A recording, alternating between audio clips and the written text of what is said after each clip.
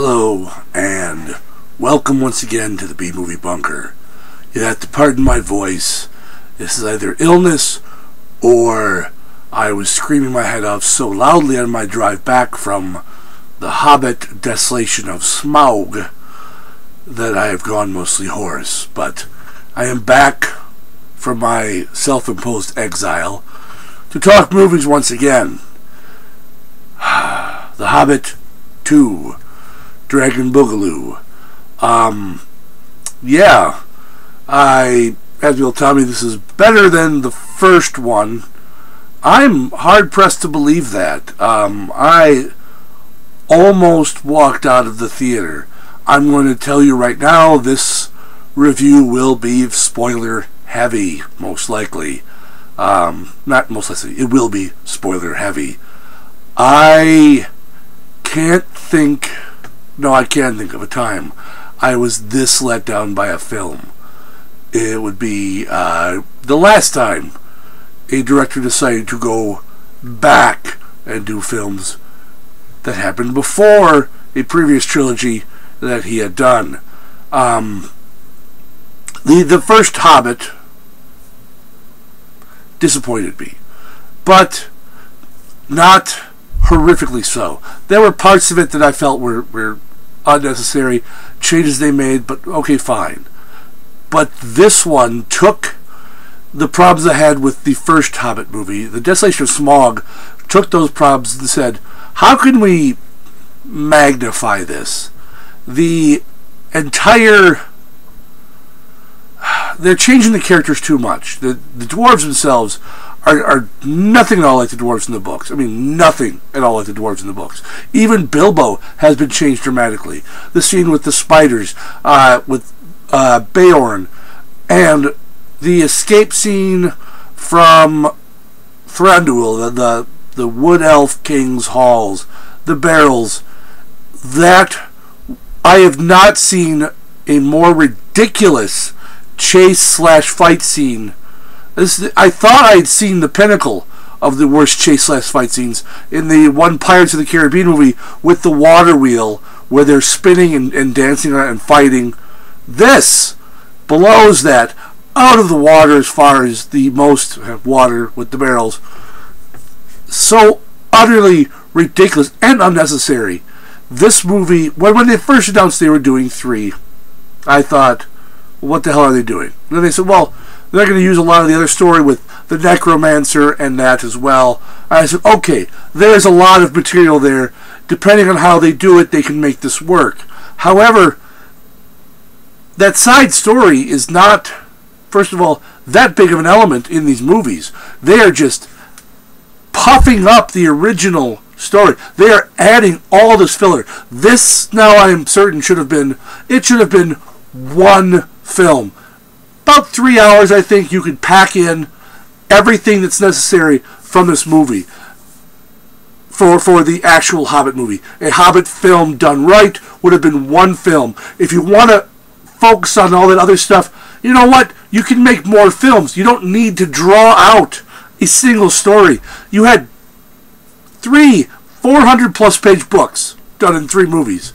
Now you're taking one not even barely 300 page book and making it three movies. And yeah, there's the added stuff, but that, like I said, that's such a small part of it that they have decided that's oh, okay. So out of what two hours, 40 minutes, maybe 15 minutes of the entire movie is other stuff outside of the actual Hobbit.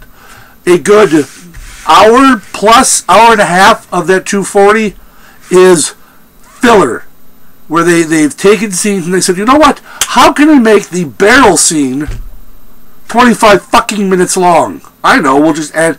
No. You know, everything about this, every character, they're, they're taking every character from the book. Why do a story on a book if you're going to so blatantly ignore almost everything in the book? I don't. And the thing is, is this is not just me being a whiny fanboy going, "There, my precious book, my precious Hobbit, you're ruining it." The movie itself is awful, even taken outside of the context of The Hobbit. It is a Michael Bay esque fantasy film. I did not expect something like this out of Peter Jackson. I, I am I am absolutely gobsmacked at how awful this is. Um, I mean, everything about the, still the stuff with as like destroyer and now this this orc side story who has to have Oakenshield and then the fucking let's just have Smaug running around chasing the dwarves everywhere. You that whole scene with Smaug and Bilbo. That's such a great scene in the book, and you ruined it. You absolutely ruined it. I I can't say I'm not going to go see the third one, or I won't see it ever. I don't know if I will pay money to see it. And actually, I didn't pay money to see this one. I had a gift card. And if I hadn't had that gift card, I'd be absolutely furious about having spent my money, money that I worked for, on watching this movie. It is such an utter disappointment as far as the Hobbit film goes, as far as the fantasy film goes, as far as Peter Jackson's name being on it. It's such a disappointment. I just. Uh, I mean, perhaps I should have waited and let cooler heads prevail and and address this after I had let it digest a bit. But I can't because it just infuriated me so much of how they've taken what is a fantastic story and they've butchered it.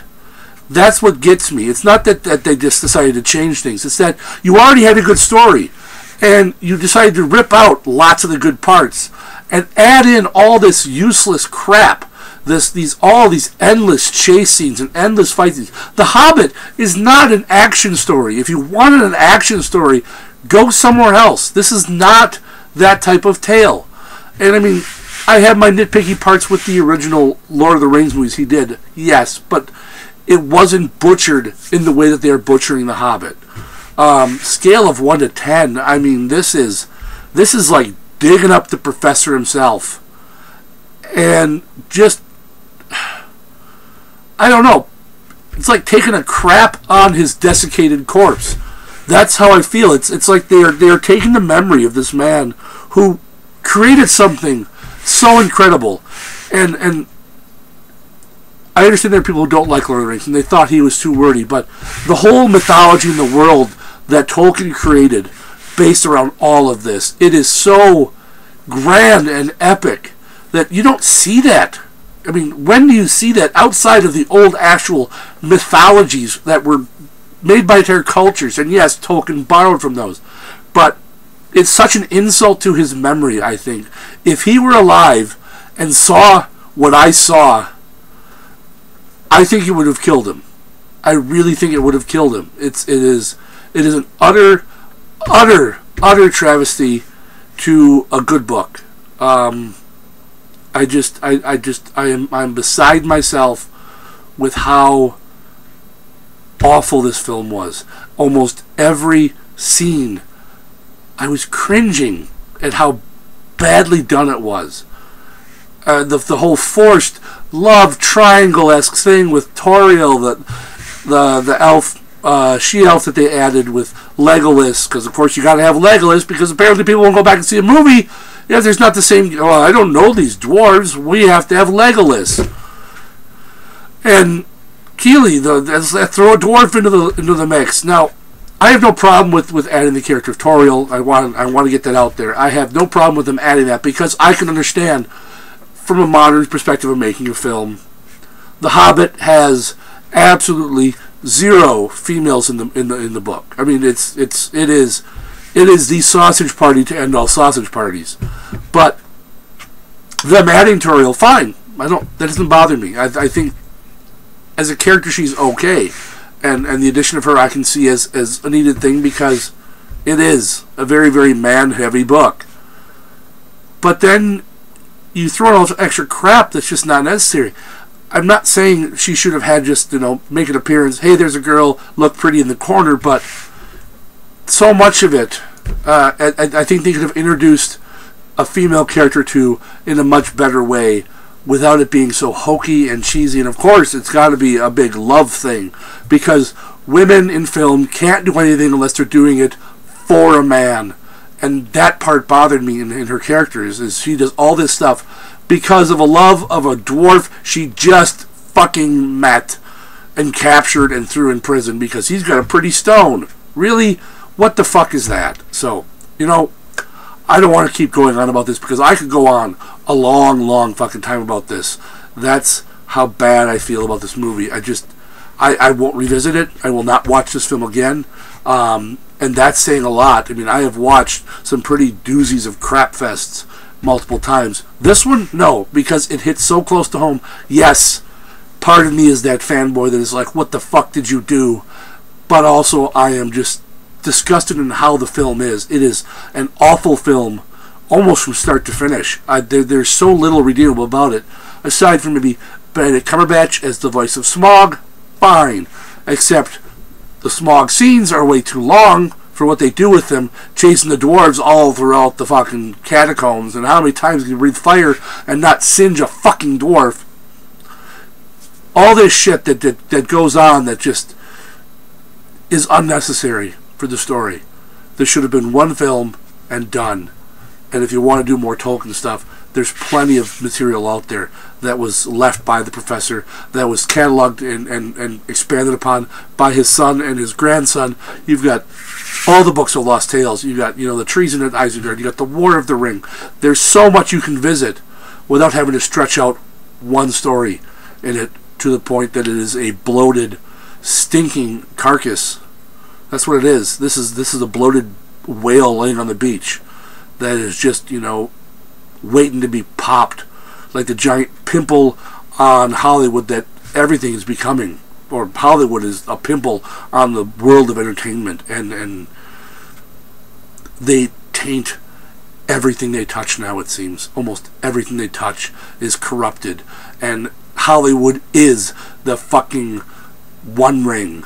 It corrupts and destroys everyone that lays their hands on it how's that how's that till next time why don't you all stay safe out there in the wasteland because I need to fucking have a beer and uh, 12 bottles of scotch, something like that.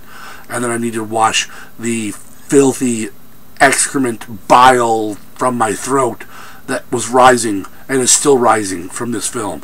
I can't believe how mad I am. I, I really, I walked out of there more, more numb. And the more I think about it, the madder I get about it. And I'm sure there are people who loved it. And fine, if you loved it and you enjoyed it, great. I'm not saying you're an idiot. I'm not saying you're fucking stupid for liking it. If you liked it for whatever reason you liked it, fine. For me, I thought the movie was awful. I thought as a Hobbit adaptation it was awful. And here I'm still going. I'm rambling. And I could keep rambling all night long about how bad this was. So, that's it. Stay safe in the wasteland. That's all I gotta say. I'll probably be doing another pissed off video a year or so from now if I get free admission to another movie because I am not paying to see the third one. I will not pay for it.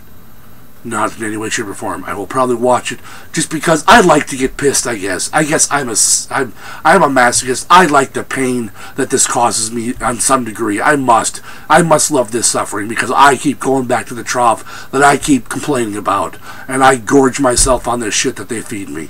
You know what? I've got to change. Hollywood has to change. We all have to change. We all got to start saying, you know what?